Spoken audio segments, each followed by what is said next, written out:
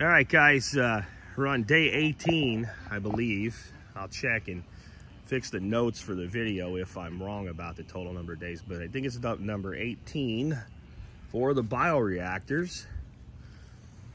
And as you can see, I've removed the pipes. Dr. Johnson says you can remove the pipes and your holes will stay open in 24 hours. I tend to wait about a week or two at least uh, before I remove mine. And due to shifting pipe syndrome, I added a couple holes. Might ask how I do that. Well, you know, here's a, here's a hole that was added and there's a hole that came from the pipe. Not much different. So what I did is I took a two inch um, bulb auger that has about a 30 inch reach and I went all the way to the bottom up and down with it a couple times. And of course, it's not gonna stay nice and open. So then you take something like a T-post and you just kind of do this with it.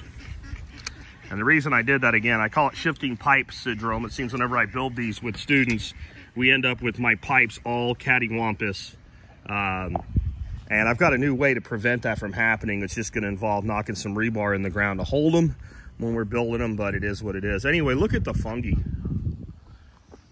Old fungi forest going on there.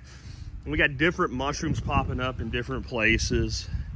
Uh, most of them look like those guys there, but there's some pure white ones as well. And I don't know what the heck those little guys are down in there. They're definitely something different. And uh, temperature wise, we're sitting at what? About 138 degrees. So here we are almost 20 days. It's 18, 19, something like that days in. We're still at 130 degrees.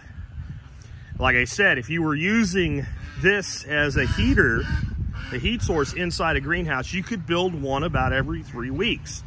And maybe you would, uh, you know, go a little longer than three weeks because here we are almost, you know, 21 days. It'll be three weeks and we're still at 130 degrees.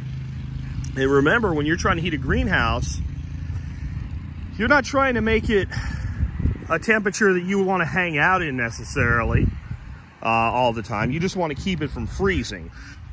And there's another one of the holes I made. So anyway, if you can just keep the internal temperature above 32 uh, and get through your nights, your greenhouse will be good. I don't know how big of a greenhouse one of these would uh, suffice to keep up above in the temps. You know, maybe in your coldest part of the year, you build two of them every three weeks if you have the material and the space for it but it's just an idea. I mean, I, obviously I don't do it. Mine are outside, but uh, I'll keep you guys uh, abreast of this until we get all the way through the thermophilic cycle. Then there's not much to pay attention to. It's just gonna, you know, sit here for almost a year before we use it.